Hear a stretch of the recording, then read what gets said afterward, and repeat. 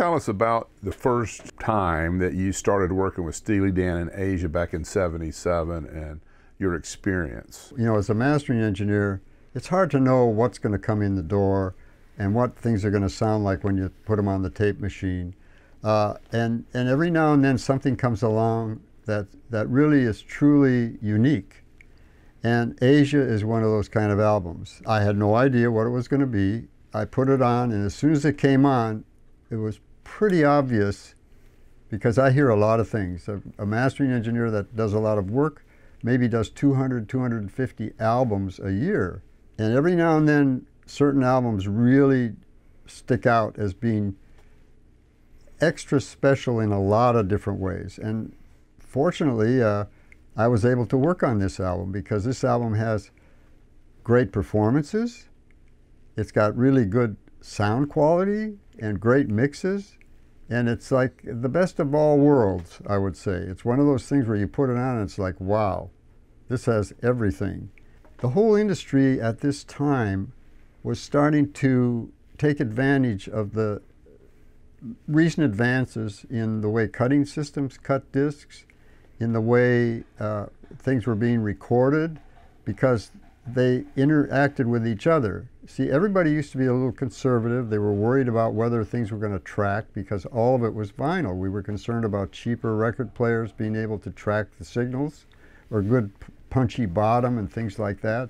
And everybody was cautious. They were uh, conservative when it came to ca causing something that was real dynamic and real punchy or whatever it might be. And here his album comes along and it's like got all of that stuff. And it's like because people were realizing, mixers were, they were realizing that they could do this now because all of the equipment that people were listening to records on had improved a lot. And the cutting systems could cut a groove that was that, that could be tracked no matter what was happening to the two channels.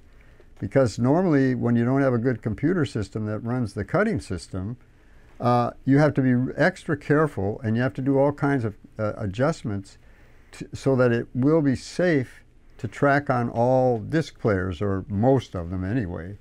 And in this case, because the cutting systems could maintain a kind of groove, you could set it up wherever you wanted to, but you could, it would maintain with the computers and stuff uh, a groove that would always be the right shape and size for most disc players to play.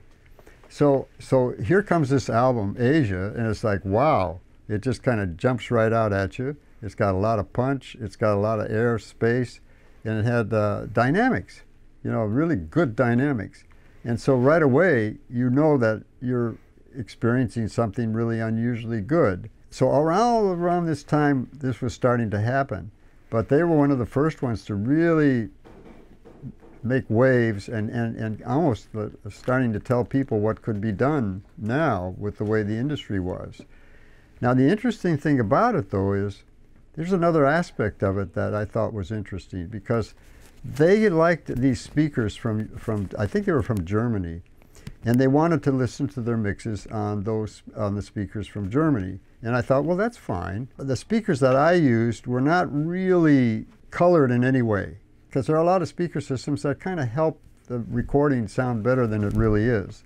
I've always wanted something that was really neutral, and the speakers I had were quite neutral, almost too neutral in a way. Uh, but I knew those speakers. I hooked up their speakers and I put it on, and I, when I listened to it, and they were small bookshelf speakers, and I thought, well, everything's nice and tight and detailed here. I, I, I don't even really know if I know what to do with this because I'm not used to hearing thing that's, things that already sound kind of like bright and open and, and punchy and all that without doing anything to it. Maybe the mix is that good. Then I said, well, look, let me hear what it sounds like on my speakers.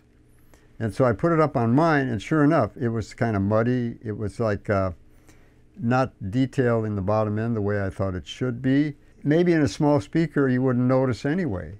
Uh, but, but in a bigger speaker, you'd start to get into this thing where we kind of like uh, covering up this, the, the detail of the bottom. Yeah, you're talking about the Aja album? Yeah, I'm talking about Aja. Yeah, this is the Aja album. Had you worked with Steely Dan before? No. This was the first album that I ever did with them. Were the artists involved in your Yes, cutting? they were there. They were there. They were listening to it. And I just, I told them, I says, you know, I think we ought to try this, try that. And uh, they didn't know for sure. So I put it up on mine. And the interesting thing about this is when I made it sound better and more open and more detailed on mine, and you put it back down on theirs, it still sounded basically the way it always did on theirs, which is kind of an interesting aspect of audio. That's actually kind of how we arrived at the sound of this album when it first came out. Back in 1977, when you originally mastered this, did you ever imagine it would be considered one of the all time audiophile masterpieces? Actually, yes. I don't have that feeling that often, but every now and then when I hear something as special as this, it's a pretty accurate hunch that it's going to get a lot of notoriety or it's going to get noticed. And so I was pretty sure it would get noticed, and sure enough, it just exploded. Even though there's a lot of other good things out there, this one just stood out. This is the same thing that happened on like Michael Jackson's albums, this Off the Wall or Thriller. I mean, it's like you put it up and you go, wow. Because there's a whole range here of, of uh, performances and quality and various things that go on, but when they all come together on one album, you kind of notice it. Even though the other ones are successful too, but this had almost a little bit of everything. It's in that category of one of the best albums ever produced. Did you have to cut multiple masters because this was a big seller? Yes, we always did. They wear out the uh, stampers, you know, because uh, vinyl is a fairly hard material and you're actually stamping out these records. And so the actual metal part that's stamping them out gets worn out. If it's a good pressing plant, though, they keep ordering new masters and they keep replating it as a mastering engineer, I'm trying to supply them with the same thing that I originally made, you know, so that it doesn't change its quality, so that it stays the same no matter when I do it. And we have notes, and mastering systems are all step attenuators. They're all step controls. So I can go right back to the setup on the board that I used, say, for Aja. I, I can go set and, and it'll play back exactly like it was. As long as you don't run a tape a long, like thousand times or something, tape lasts a long time. If, if you have a machine that's gentle on tape and so forth, tape is pretty good that way. Do you think you still have any of the original mastering notes from, it looks like about 47 years ago? Now, in this case, no, I don't. Okay. I, I don't. I, yeah, that that was way back. Uh, I don't know ever whatever happened to those notes. What we do in a case like that is we spend a lot of time listening to the original pressings, and we want to do justice to those. But we would like to, on top of that, have the same sensibility of the original one, but have it just a better quality if we can. Better pressing, better plating, all the latest advances in that because it's always been hard to make a consistently good sounding pressing. And uh, like the QRP, which is making these, the, which is going to be the new uh, pressings, is a very good plant. It's one of the best plants. If we're careful about everything and we're comparing and we're uh you know trying to adjust it so that we're having getting all of the uh, effects of the original recording that was so popular, but maybe one step further in actually having a quieter surface on the vinyl and having just a, a just a more high-end quality to the sound, getting most out of the original tape. This is definitely a unique opportunity, unlike most other projects that you or any other mastering expert has, is the fact that you're in essence competing with yourself to a degree from 47 years ago. it's an amazing time for an audiophile. and you, you're still here. You did the original. These things happen to me all the time nowadays because of all the resurgence of vinyl, and everybody wants to put out all these iconic historic recordings. No matter what we might come up with, we like to refer to what was originally done so we're not losing any aspect of what is good about that original one, but maybe actually adding more to it, actually getting more than we had even then. So we don't want to lose some of the major important aspects of the original recording, but we might want to have it ha make it just a little clearer, more detailed, more natural if we can. But we just want to have a, a more pure, natural sound uh, that has still all of the effects and all of the uh, appeal of the original one. How was it working with them, mastering their hard work onto the lacquers? We went through the whole album. I told them what I thought was going to work, and uh, because they couldn't relate that well to my speakers, so we made a test disc. And I don't even know whether we had to do many changes after that. I, I think they liked the way the test disc came out because our system was so good. There wasn't really a lot of controversy when it came to that because to begin with, though, the basic mix and sound was already there. It was only touch-ups here and there to just kind of make it a little more detailed, a little more controlled on the bottom and things like that. That's mainly what we were doing and making sure that it would get on the disc because, you know, the limitation of discs is high end. So you can't have too much high end or else you're going to have a lot of cartridges that will not track it cleanly. So uh, that one of the whole uh, goals of making a good record is for it to track cleanly on the top end. I mean, vinyl has a few limitations like that. And so you don't want to go too far or else you're going to need a $12,000 cartridge. So we don't want to make it, we don't want to have it a, a, recording that only plays on the most expensive sound system. So we have to put it somewhere in the middle. We have a really, a good all-around cartridge that we test things on, but we're always testing to see how clean it tracks after it's cut. Because you never, you're never, quite sure, especially when you have sibilant S's and big cymbal crashes, you want to make sure that it's going to track on most players fairly well and, and, and you'd be able to get extract from the groove what's in there.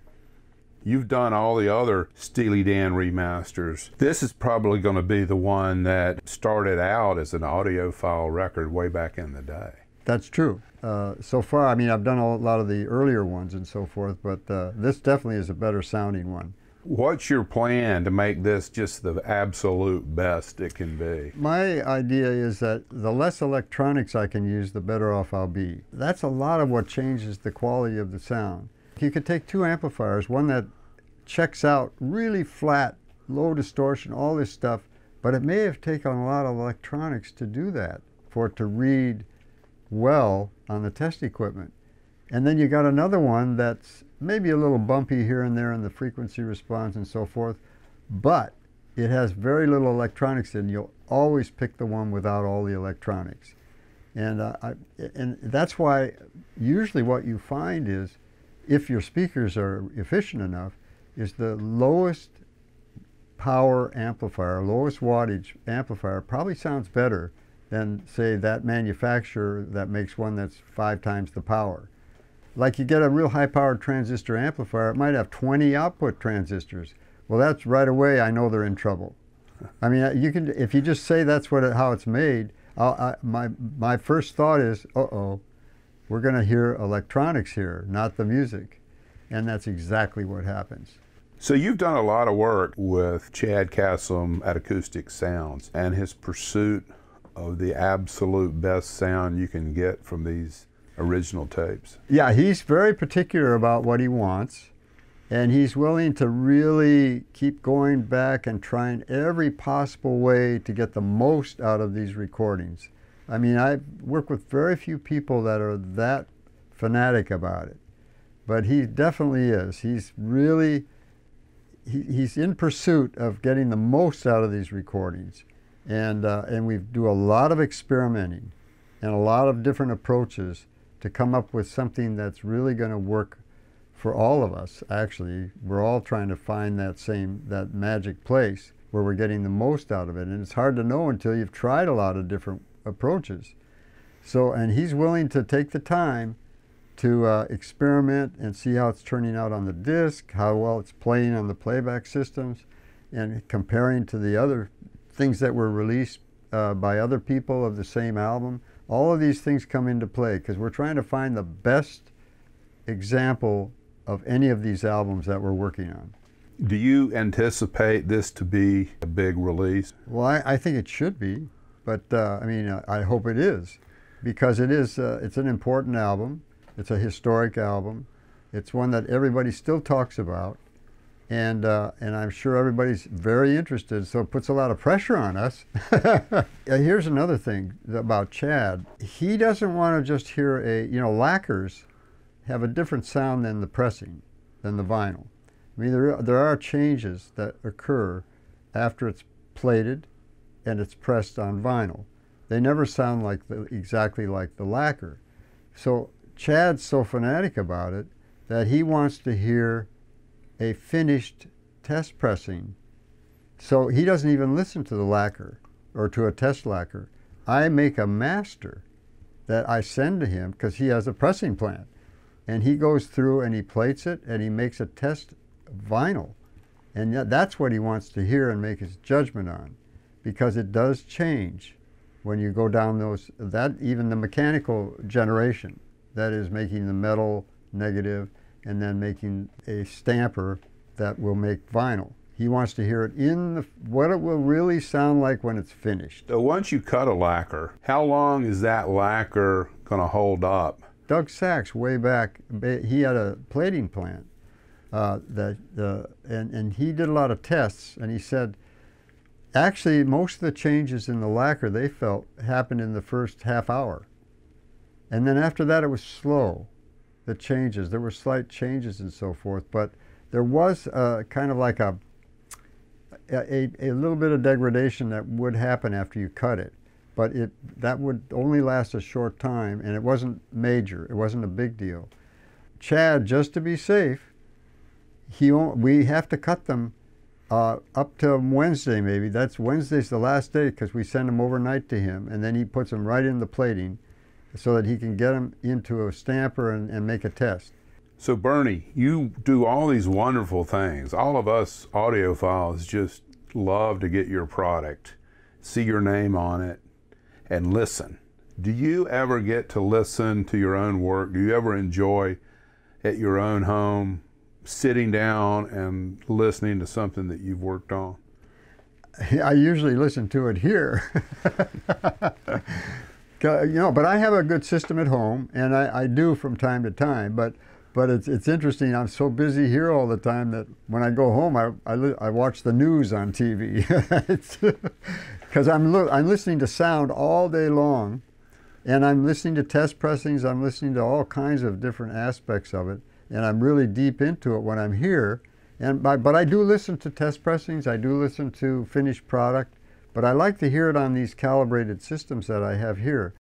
I really want to thank you for Chad and for me and all the audiophiles for sharing your wit and wisdom on these albums, particularly in this case, Steely Dan in Aja, 1977 release, coming soon to a turntable near everyone you're taking the time to explain it is such a gem for all of us. Well, I'm glad that people are interested in that, you know, that it really means something to people because we, we certainly are passionate about it. And it's nice to know that there's an audience out there that appreciates it.